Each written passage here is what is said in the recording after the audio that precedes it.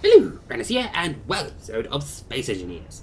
This episode take a look at the Omnicorp Omni Tools by Raidfire, the small oxygen tank by Harb- Harbinger Ace, there's the large grid offset lights and offset spotlight by the Slave One. So, why don't we take a pokey at the Omni Tools? So first, listen. Here the Omni Tools add three blocks. An ore detector, a grinder welder, and a drill. Yeah, that's a mining drill. uses lasers. Not only that, this is a tool core mod. Which you don't have to worry about installing the cool mod the tool core mod itself. Because that'll just automatically install when you add this one. So it all works correctly. You see, both big and small. Well, the welder and grinder doesn't get quite as small, but the other two do. I bought a ship to demonstrate them too. And you see, recolorable and retexturable. Ugh, reflections. Wait, this is the... I said that was the ore detector. Which, if we go to here, has a range of between 1 meter and 600 meters. So it's got quite a big range to it. I thought they said offline then. And as for the small ship variant, it's uh, between 1 meter, not sure why anyone use 1 meter, and 200 meters. So they are better than the vanilla counterparts. Which is pretty damn helpful. Anyway, build cost for the large one is 160 steel plates, 100 construction components, 45 motors, uh, 65 computers, 60 detectors, 40 superconductors. Small ship's obviously going to be a lot cheaper. Yeah, only 24 steel plates, 16 construction components, 10 motors, 10 computers, 10 detectors, and 5 superconductors. That's for this bugger, well, to actually scroll down. 200 power cells. Ah. There's uh, 100 superconductors. Only 200 steel plates. Uh, 120 construction components. 80 small steel tubes. 60 computers and 20 motors. Oh, and as well as 80 interior plates. Hmm. As for this bugger, it's kind of big. Ooh, quite a lot. 300 power cells. And again, it is a laser, so I guess that's why. It's 300 of those. Yeah, some similar materials, like 150 superconductors. And 370 steel plates. Quite a lot. As well as uh, 230 construction components. 120 small steel tubes, 60 large steel tubes, 120 computers, 60 motors. Yeah, it's cheaper. Oh, also, the drill and grinder has one port on the back. That's how you get the items in and out. As for this bugger, it's got one on the back, and it's got one on all four sides for both the large and small variants. So, you know, it uh, has the ability to transfer it. Obviously, because it's a drill. It mines ores. So, why don't we go and show them in action? Which we do in this bugger. This thing can actually stand perfectly fine on its own without these wheels. And I type on one on there just to make it a bit more balanced. So to demonstrate, we're first do the grinder and welder on the target block over there. So as we're flying over, you can see the Omni beams. You can activate and deactivate. There's also drain all. Not sure what that does. So maybe it drains all when it's in welder mode? I'm not too sure about that one. Then you have the mode select, which switches between welder and grinder. And then you have the draw on and off, which is just basically a laser pointers. Yep, just laser pointers. I gotta slow down before I crash into this thing, because it doesn't have very good uh, deceleration. Me. Any hoodle. Let's drop down a little. And how about I show you this little bug of grinding? Oh, too far. And let's just activate. You see, it's very... I'm thinking these are... Why is there a white block on top?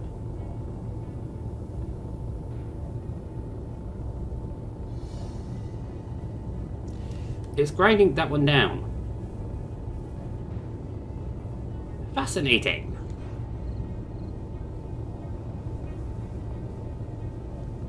Well... It seems that once you're aiming at a target, it likes to select random blocks.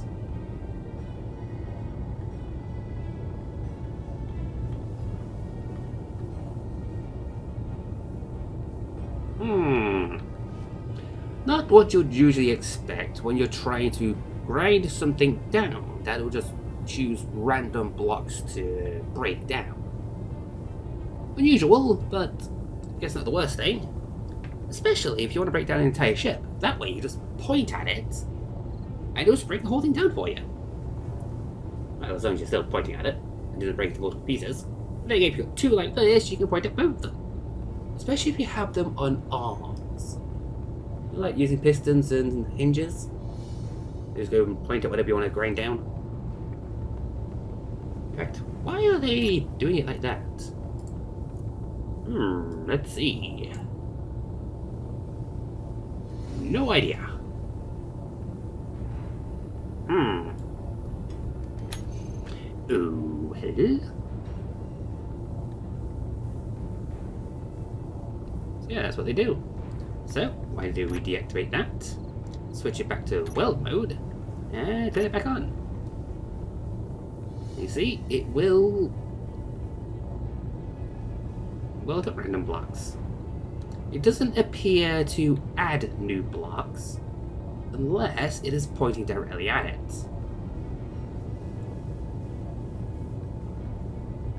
And... Oh, don't go far enough to do those. There you go. It can only penetrate so deep.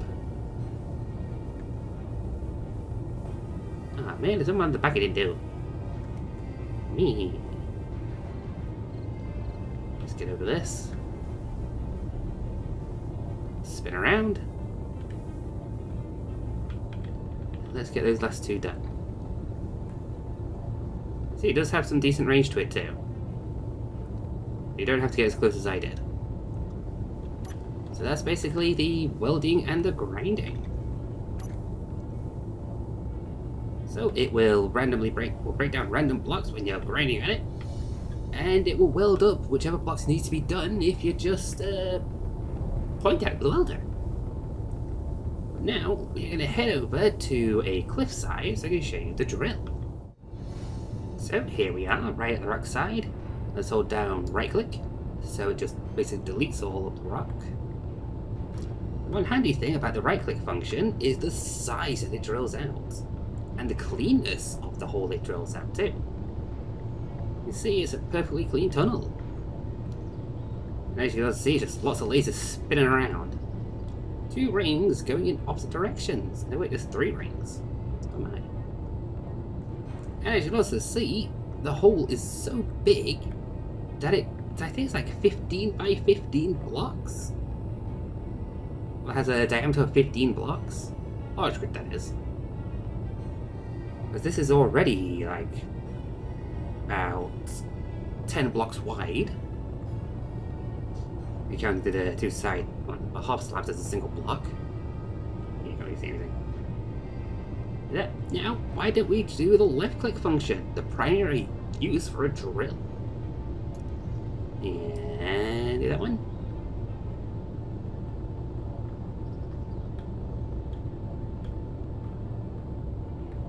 See, it is drilling out the rocks. As about the size of the hole. Oh. That's not good. Well, this book is too heavy. but, as you can see... Why is the cockpit full? Yeah. You see, it can take out a lot of stone pretty damn quick. It didn't take us long to get over a million. To the point where this bugger can't fly. Which is an issue. So yeah, you gotta make sure you build your ships able to fly with full inventory. Which is not something I did. I still need to figure out what the ratio on that is. Hmm. Yeah, this thing's stuck. So yeah, that's the drill. And as you can see here, it is a couple of blocks thinner than the right click. That way you'll be able to properly plan out how you're going to dig all the way through. What sort of size ship you need. You're going to see a lot more thrust, more thrust than I put on this thing. Oh well. So anyway, that's uh, basically that. Shows how the drill functions. So, why don't we return to the platform and start taking a look at the next one, which is the oxygen tank. Now here you see is the small oxygen tank. A tiny little thing able to hold uh, some amount of oxygen. How much? Well, 15,000 litres, which will help keep you, well, give you enough air for quite a bit. Which, compared to the vanilla oxygen tank for small ships, when I made it, there it is,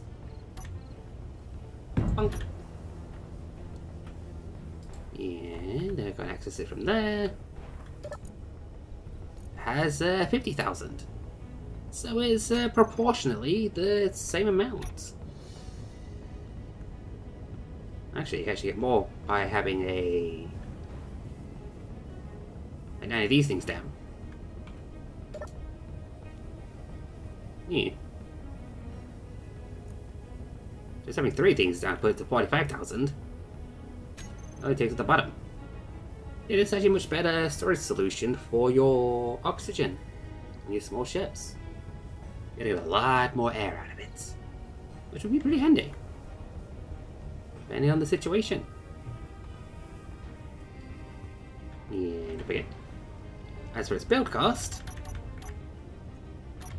it is 8 steel plates, 2 large steel tubes, 6 small steel tubes, 2 computers, and 6 construction components.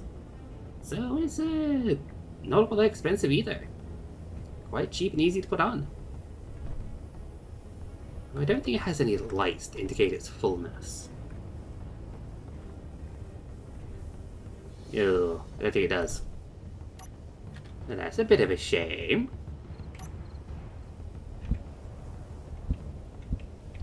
Yeah, there's no easy indication of how full it is. Oh well. As you can see, you can recolor and retexture it. So you can have it match your ships. That's all there really is to say about it. There's two conveyor ports on either side. Hmm. So, I guess that means we're moving on to the next one. Which will be the large grid offset lights and offset spotlights.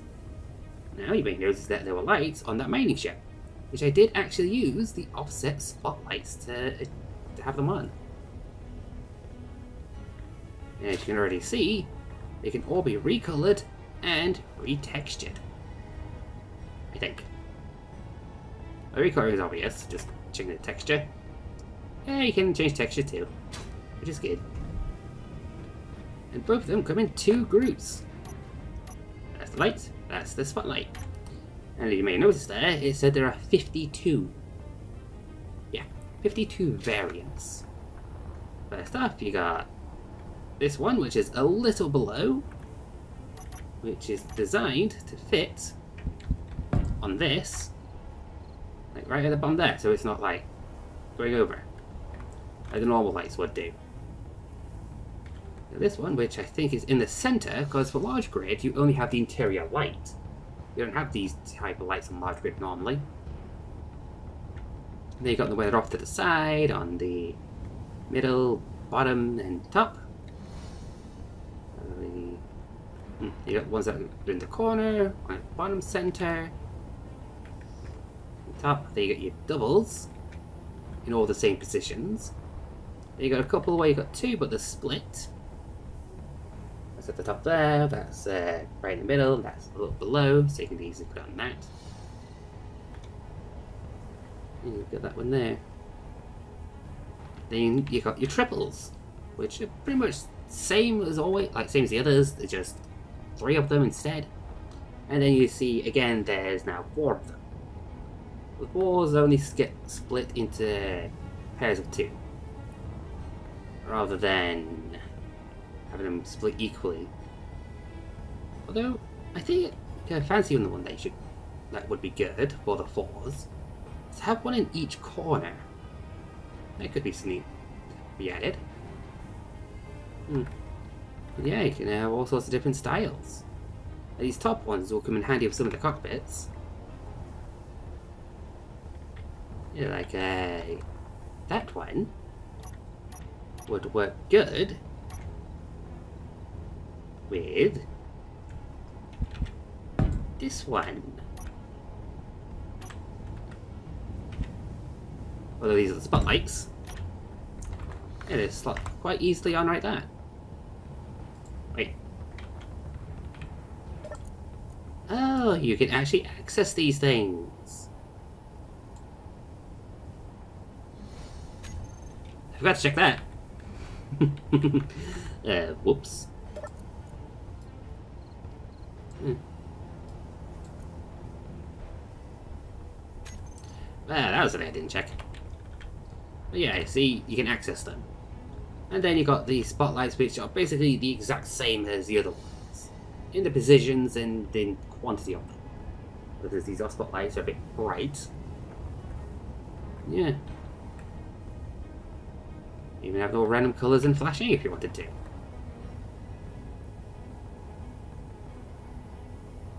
I think that's it. I wonder if there's different build costs to them though. So let's first check out the singles. This single is just two construction components. Thus, really cheap. And the doubles, which are you. Four construction components. Triples, what about you? Six. And the quads, eight. So yeah, you need two construction components per light. Thus, if you're using the blocks to have more than just one, you just multiply it by the amount that's in the block. Which is uh, helpful, cheap, simple, and useful. Especially for putting lights in, in uh, interesting places that you couldn't do before. So you can always uh, see what you're doing. And that's about it. There's not really much you can say about lights. They uh, project their light to brighten up the area. Hmm. Ugh. So yeah, that's uh, about all we can do. So, I will have links to all three mods in the description below. That way you can just play around them yourselves. Stick the lights where you need them most, use the Omni tools to laser your way through life. That's basically what they are. And you have the tidal oxygen tank that can easily fit into any small place that you may need to put some oxygen. Oxygen storage. Very helpful for really small, tightly compact builds that still need an oxygen supply. So, I hope you enjoyed this video. If you have, please leave a like and even subscribe for episodes. And I shall see you all next time. Bye bye.